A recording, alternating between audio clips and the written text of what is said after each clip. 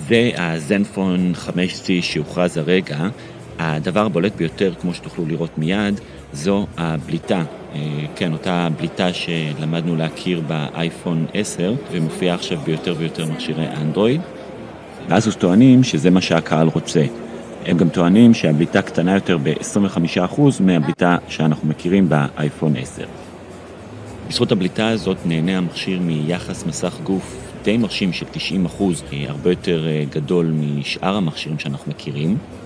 מתחת למסך הזה נמצא מכשיר אנדרואיד מתקדם ביותר עם מעבד סנאפדרגון 845, 8 גיגה זיכרון רם ולא פחות מ-256 גיגה נפח אחסון פנימי עם אפשרות לכרטיס מיקרו SD.